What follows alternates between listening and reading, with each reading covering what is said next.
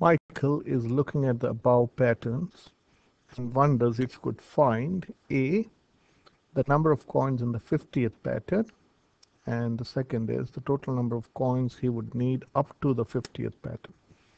So now this is one way of learning. Whenever you see a pattern, try to frame your own question and try to answer it. So you can pause this video and try to do this yourself if you can. So hopefully you've done it. So what I can what can we see here? Okay, so in the first pattern you got two coins or two beads, okay, whatever you call it. I'm calling this coins or you can call them beads. So this is the first pattern you got two beads. In the second pattern you got 2 plus 3 which is 5 beads. Again you're adding 3 beads that is 5 plus 3 is 8 then 8 plus 3 is 11 11 plus 3 is 14. So each step you're adding 3 more beads. So the question is if you continue and if you want to go up to the 50th pattern how many beads would be here? The number of beads here and the second question is if you keep adding all up to if you if you make up to the 50th pattern what's the total number of beads or coins that you need so let let us now this is called an arithmetic sequence so not I'll so this is 2 5 8 11 14 so let's look at this sequence. The name is not that important. So I want you to think how can you write this, all these numbers in terms of 2? I want to write 2, 5, 8, 11, and 14 in terms of 2 with the starting number. So say 2 is 2, 2 is 2. How can I write 5 in terms of 2? Well, that is 2 plus 3. How can you write 8 in terms of 2? Well, that is 2 plus 6. 11 is 2 plus 9 and 14 is 2 plus 12 so as you look deeper you start looking seeing things. Now look at these numbers 3 6 9 and 12 what are they? Something should jump out at you. Well they are multiples of 3 so I'm going to write this as again going deeper I can say well this is 2 plus 3 times 1 this dot means times. This 6 the same thing can be written as 2 plus 3 times 2 this is 2 plus 3 times 3 and this is 2 plus 3 times 4 okay now can you see anything deeper now? So let's define this as, say, the first term. So let me say this is the, say, let me call this T1. This is your first term. This is your second term, which is T2. This is your third term, 3. This is 4. And this is the fifth term in the sequence. Now our challenge is to write, if you continue here, what will be in the 50th term. Okay, so this is our challenge. So can we figure that out? Well, what's the relation between, say, this number and this number? Is there a relation between these two numbers? So one thing that you can say is uh, all these numbers can be written in terms of 2 and 3. 2 is the starting number and 3 is is how much it is increasing by. So each time you're increasing 3 beads or 3 coins. So I can say all of these numbers can be written in terms of 2 and 3. Now I'm looking at this number t, the second term in 1, 3 and 2, 4 and 3. I think you can now figure it out yourself, 5 and 4. So if you continue in the same pattern, what will be there in the 50th term? Well, that has to be, you can pause this video and try to answer, the, answer it yourself, and that's how you learn. So first answer it. Okay, well, you have you should have answered it. So this will be 2 plus 3 times what? We want to write the 50th term. It should be 2 times 2 plus 3 times 49.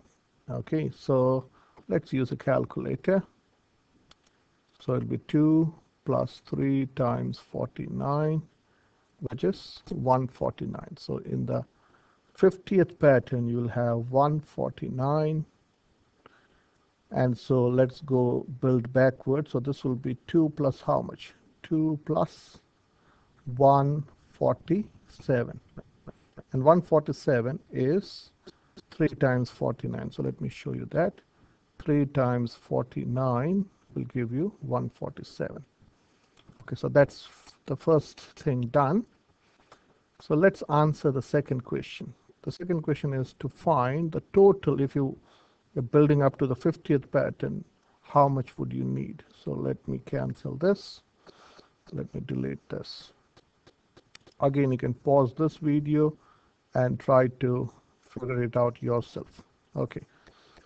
So let me write again t1 your first term is 2 your second term is uh, 5 your t3 is t3 is 8 t4 is 11 so let's let me go up to t4 t4 is 11 suppose if you want to find our next challenge is suppose and say let's go up to t5 t5 is 14 I want to add the next challenge is to find s. Say s1 s1 means you you you got only one pattern. So you, s1 means you have only you need only two coins. S2 means you're going up to the second pattern. That means you want to go 2 plus 5 which is 7 okay now this is called a sequence. And if you go s3 you are going up to the third sequence. So you're building till yeah so you need 2 plus 5 plus 8 which is how much? 15 and say s4 would be 2 plus 5 plus 8 plus 11 which is how much? So which is 15 plus 11 which is 26 okay now let's do s5 in a different way. Okay so s5 okay so let me delete this. I don't want this now. Let's do s5 in a smarter way. Okay so s5 is we know is 2 plus 5 plus 8 plus 11 plus 14 so can we do S5? Uh, I'm going to write S5 again in the reverse order. So I can go, this is 14 plus 11 plus 8 plus 5 plus 2. You're uh, adding S5 in two different ways. So if you add this two, so S5 plus S5 is, so let me write like this. So this is S5 plus S5 is equal to you're adding also this side. So this is how much? 2 plus 14 is 16 11 plus 5 is 16 8 plus 8 is 16 11 plus 5 is 16 and 14 plus 2 is also 16 so you got how many lots of 16 okay well this is s5 plus s5 is 2 times s5 and this is how many lots of 16? Well, you got 5 lots of 16. So this is 5 lots of 16. So now I'm going to divide both side by 2. If you divide this side by 2, you can divide this side by 2. So you can cancel this. So your S5, this implies S5, that is the total number of coins required up to the fifth sequence would be, this is 5 times 16 is 80 divided by 2 which is 40 and it does make sense if you add them that will be 40 so using the same logic again you can pause this video and try to do if you want to go up to the 50th pattern what is that you're going to do okay so again you can pause this video and try to find up to the 50th pattern okay so hopefully you've done it so I'm using the same approach.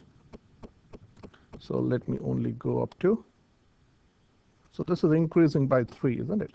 So we saw that the 50th pattern would have how many how many coins the 50th pattern would have we are going up to the 50th pattern now so the 50th pattern we know has got 149 okay? So so let me so it is 2 the formula yes here it is 2 plus 3 times 49 is 149 so if you want to if you go up to the 50th pattern in the 50th pattern you have 149 coins. One before that you will have how many? So minus 3 because this is increasing by 3 so this is 146 and this would be 143 dot dot dot dot plus. So again I can write S50 is writing this in the reverse order. This would be 149 plus 146 plus 143 plus dot dot dot. And in the reverse order will be 8 plus 5 plus 2 so let's add them. So this would be you're adding this side and you're also adding this side. So s5 plus s5 is 2 times s sorry s50 s50 plus s50 is 2 times s50 is equal to this is how much? This is 151 this would also be 151 this would be 151 dot dot dot plus 143 plus 8 is 151 146 plus 5 is 151 and 151 so this is 2 times s50 is equal to, you got how many lots of 151? Well, there are 50 lots of 151. You have 50 lots of 151. And now I'm going to divide both side by 2. If you divide this side by 2, you can divide this side by 2. So 2 into gets cancelled. So your S50 is 50 times 51 divided by 2. So let's get the calculator out.